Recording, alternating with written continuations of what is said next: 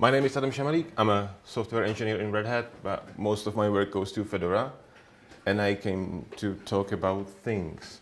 Um, so um, let's start with question. Um, who of you is a developer?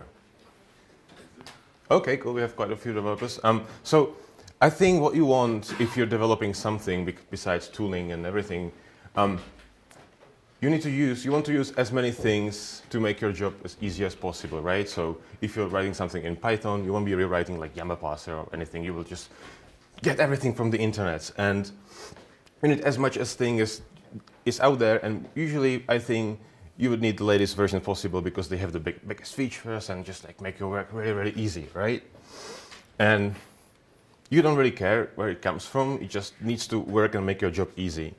Um, and then it's ready. It goes to production. And I know it's a pilot. I couldn't find another picture. Um, system, sysadmins, operators, any of you maintaining servers um, is on call. These guys will hate you if you do that for them. So um, what they want is packages, auditability, lifecycle support. It's a really, really different thing, right? Um, these people are really different, but they have to work together. So variety versus stability. And so how to make those two worlds connected and somehow how to fix this problem. So first question that I have, isn't this just packaging? Because that's kind of what Linux distributions do, right? Um, what is packaging actually? So it makes software um, integrated, tested, updated, and easily installable. And I remember when I switched to Linux, it's 2019, so I can say 12 years ago, um, from Windows XP actually, I didn't have to, uh, really like, I didn't have to go to the internet, I just download everything I wanted to install and just search for it and it would break. But I just typed a command and it was there. For basically anything, it was a magic. And that was kind of cool. And there are people actually making sure that everything is easily installable. You get the updates, it's tested, and it integrated together. So it works in a consistent manner. Um, another thing I didn't care about is life cycles. But now that I need to run services or something, I kind of care about life cycles because this says this brings an overtime stability to a diverse open source world. But what that, what that means really is if you look at the open source project, and I don't think there are seven, there are like millions, but this is kind of um, simplified view, and it's kind of mess, right? This is this is a view of maintenance timeline, and they just new projects appear, disappear, new versions appear, and just like crazy. And if you need to have a lot of them on the server, how can you know that someone's actually taking care of it? So what Linux distribution do, they somehow squeeze it together, they pick the right ones, and they put them all on the same life cycle. So it's a little bit less crazy, so you know that everything is the same.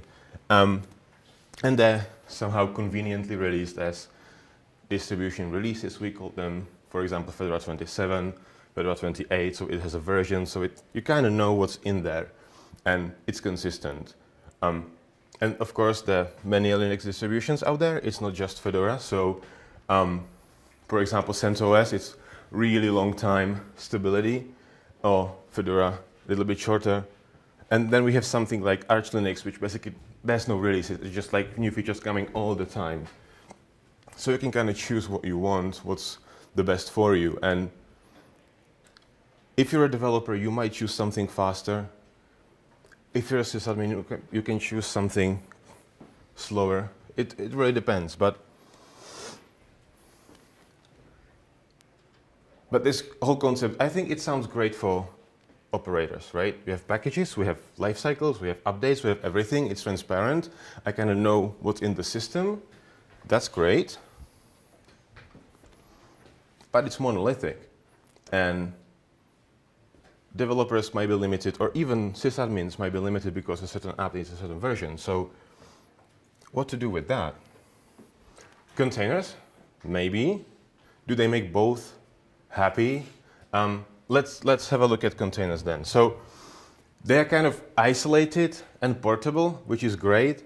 So like I, I have this image with raspberries. So imagine like a huge pile of raspberries. How do you move it? That's possible. But if you put it into boxes, you can kind of move it around. You can sell it quickly, um, easily, and it's great. How will that look like in a week or five? um, containers are just isolated and portable. The thing that you sh just shove something in a container and make it run doesn't somehow magically um, make it better, right? So containers are great, but for this particular problem, they might not be the solution. At least not the first step. So what we kind of need is new versions or variety of versions for developers with the qualities required by operators. And I think that's easy to say, but let's have a look if we can somehow figure it out. And that's why we started a project in Fedora called Fedora Modularity, which kind of does this thing. So let's have a look what's, what's going on in there. So modularity basically separates the life cycle of different pieces of the distribution. So we have like OS and maybe some applications. So it's kind of going back to the image with the upstreams, but not too much. And we saw this image, right? So let's have a look what's inside. Um, if I see inside, uh, I'll just narrow it down to Node.js package, and then not just one package, there like tens of thousands. But I can see that, um, for example, F26, Fedora 26 shipped Node.js version 6, just one, and 27 had Node.js 8, just one.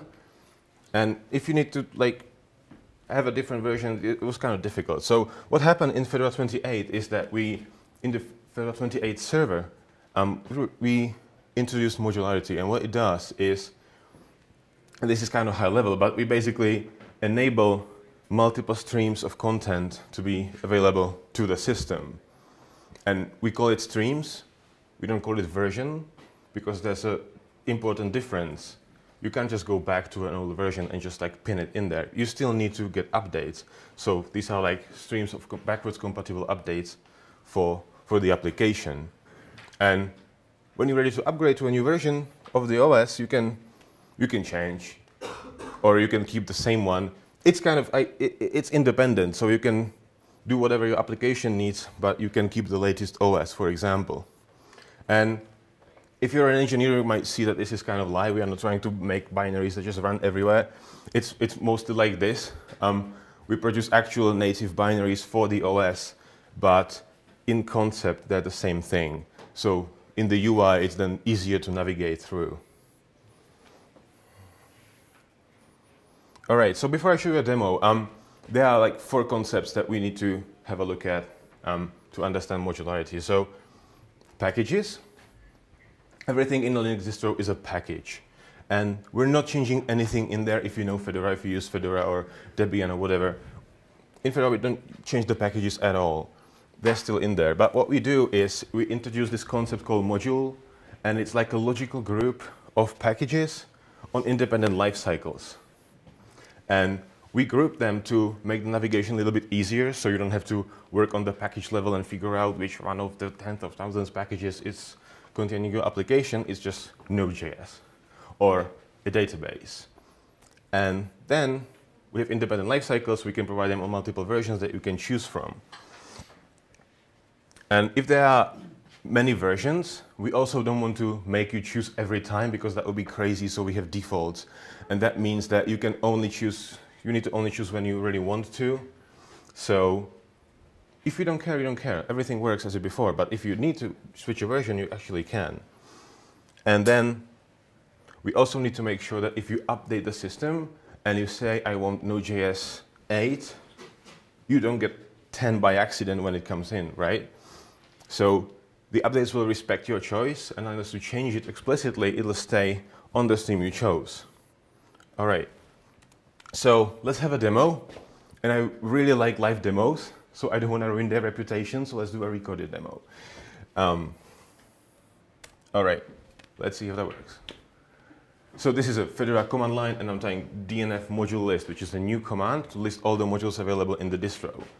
And I might even, yeah. So this is a list of the modules we, there, it's, we have. It's been long, but I'm highlighting Node.js, Um, at the time of recording, there were two streams of Node.js, 8 and 10. And I can choose which one I want. So I might eventually type a command to install it. Maybe. Yeah. So I type dnf module install Node.js colon 8. And this is like well-known syntax, for example, in the container world or other places. So I'm just choosing the stream 8 here. And what happens, it just gives me the packages I need for Node.js 8. I'll download them, install them, everything works as expected. And these are packages that are the same as they were always. So I don't know if you know software collections or other technologies. I don't need to do anything. It's just like at the place as I want it. So Node-V actually gives me the version 8, so I can prove it's there. All right. I think we should switch to version 10 and see what's going to happen. No, I forgot the video. I need to demonstrate update first. So there's 8 and 10, sorry. And I can see I have no update because I installed 8. And even though it's 10 is available, I still have 8. All right, and now I make the conscious choice and I say I want 10. So I type dnf module install Node.js 10. And it swaps the version and upgrades the packages to the version 10.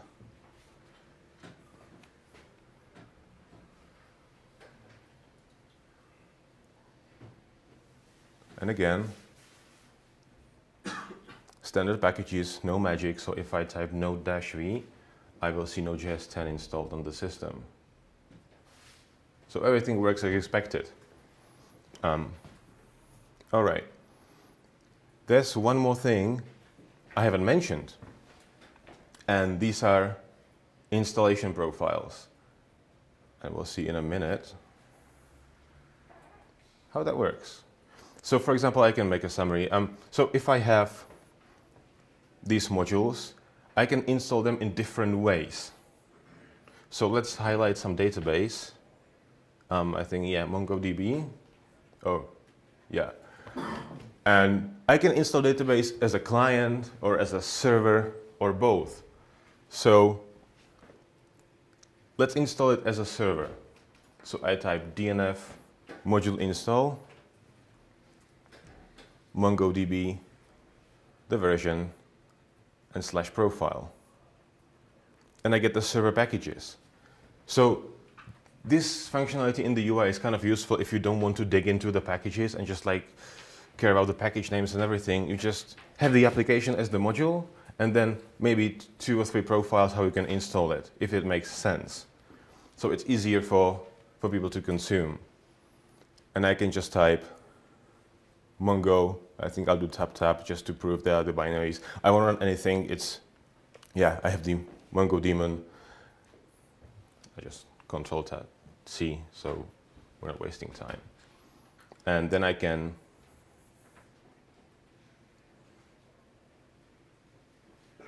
install the, uh, the client packages if I want. So I just take the same command, I just type client, and again, I don't need to care which packages get installed. It's the client profile, and a few other packages, Mongo tools and MongoDB get installed.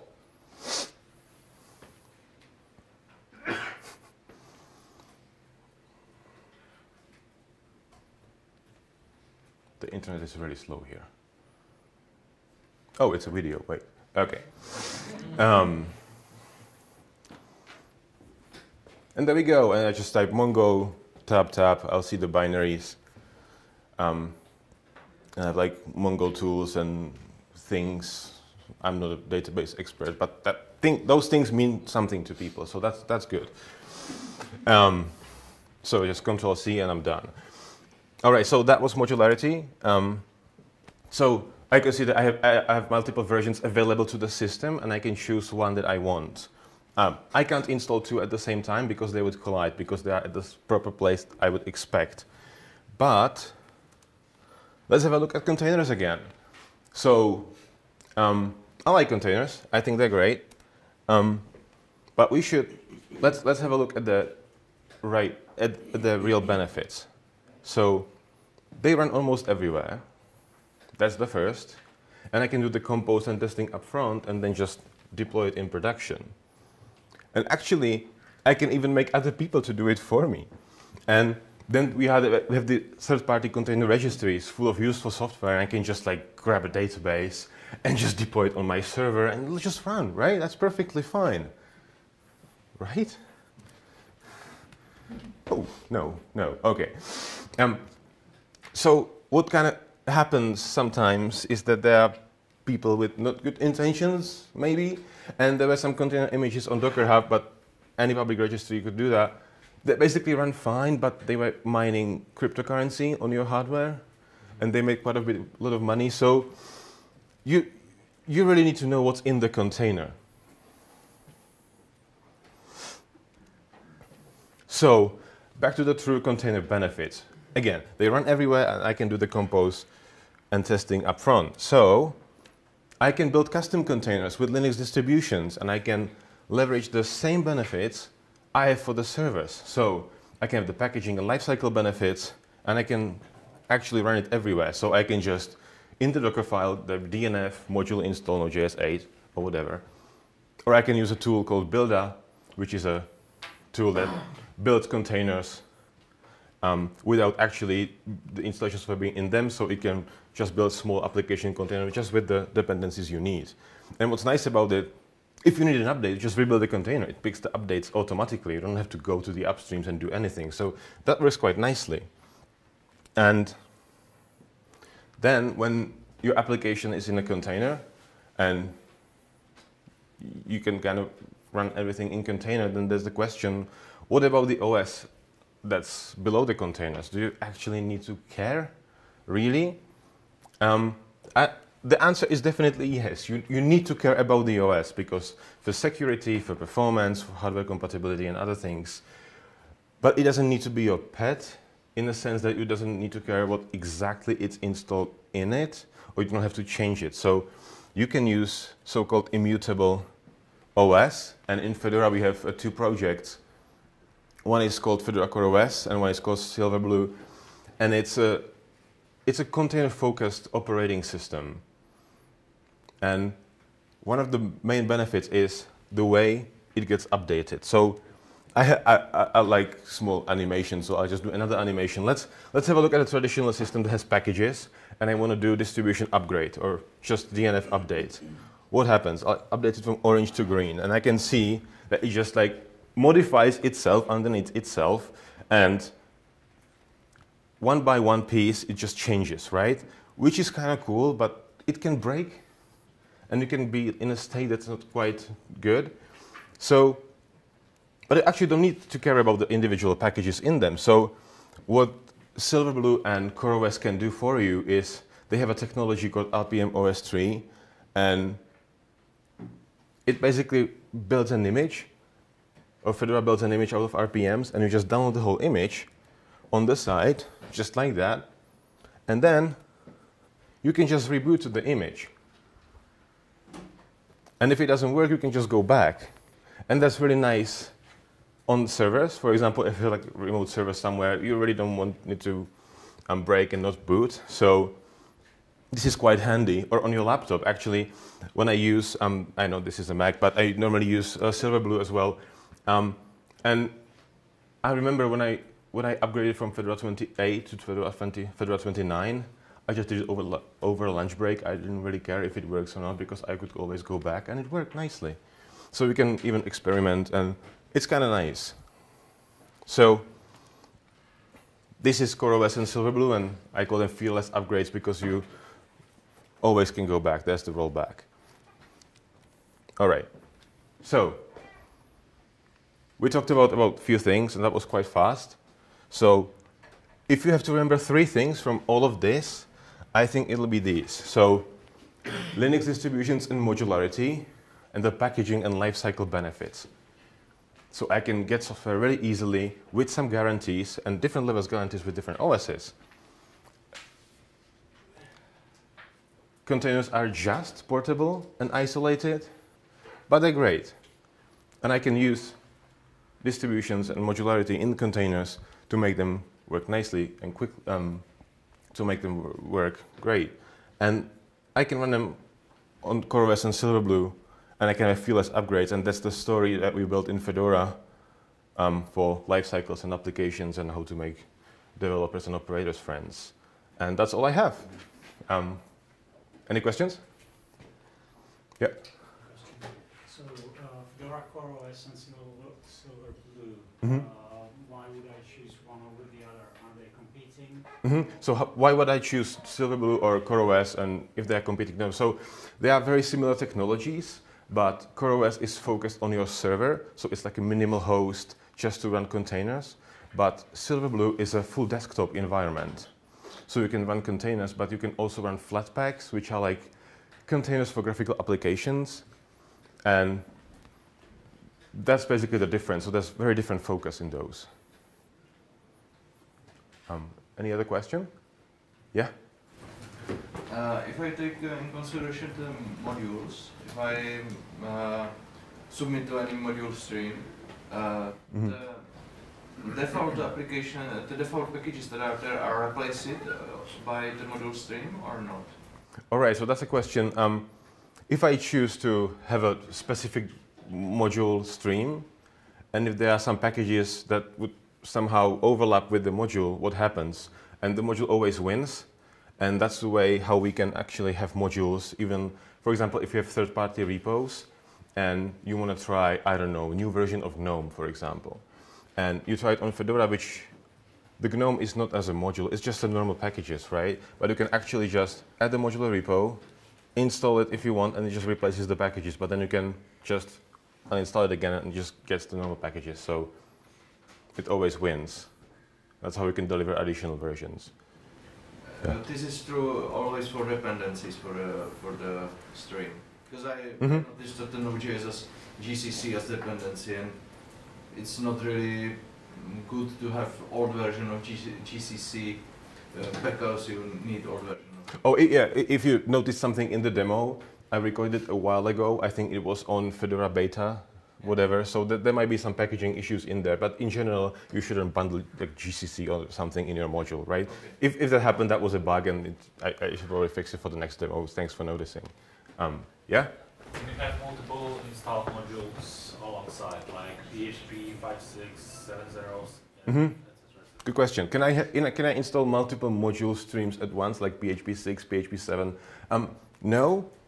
And that's the design choice we made because we install software in the proper paths as you would normally expect. So I don't know if someone of you are familiar with uh, technology called software collections. These were like RPM packages that installing um, software in separate paths. So you could actually, they, would, they wouldn't conflict, but it was kind of pain to maintain and pain to use. So yeah, these are just, just the standard paths. And we are not trying to re-implement this. Um, and we kind of see that the world is moving to containers anyway. So that's, that would be the way how to run multiple versions. Yeah. Yeah. Uh, so these models, how can you compare it to YUM uh, package groups? Yes. It's more like- Yeah, if I can compare module to YUM package groups, definitely. And so in Fedora, there were always YUM package groups, which are like also can represent an application. But what would happen if you install a package group, you install the whole thing. So that's one. And you couldn't make multiple versions available to the system. So it was just like just grouping packages, but not adding really much benefits in there. Modules add the benefits of indep- independent lifecycle, and you can choose which stream you want. And also on the build side, which is kind of hidden for the users, but you can have one source and just build it for multiple Fedora releases, and it produces native binaries for all the releases. And then you can do even magic like build against multiple modules. So it's just like you have like a matrix of explosion if you really want to. So there are additional benefits to that. Yeah? Yeah, and just to expand on that, Mhm. because it works so much like package groups, if you want to just use the RPMs, they're still there. If you want, if your build script says yum install, um, dnf install MongoDB-server, and lists the name of the RPM, it still works because the RPM is implied module, the module will be enabled automatically, all of the dependency resolution will still happen. You don't have to use the module command to get at it. You can still use the RPMs just as they always work. hmm Yeah, that was a great, great point. I'll just repeat it for the recording. So yeah, the, um, if you wanna if you wanna just install a package just without caring about modules. You can just do yum install package name, and it works as it used to. It can enable the module for you and just consume the packages natively. So it basically works like groups in that regard as well. Yeah. All right. Know when modules are ready for enterprise Linux? If I know when modules are ready for enterprise Linux. So um, recently there was RHEL, uh, Hat Enterprise Linux 8 beta out, and if you look at the upstream repository, so which is like a repository with the applications, they use technology basically very similar to this. You have YAML module install something, so it looks like it's coming. Uh, I can't speculate on that, but yeah, in, in the beta, yeah, you can you can see there. Any other question? All right. Well, thanks for coming. And yeah, if you have any questions and uh, see me on the hallway, just come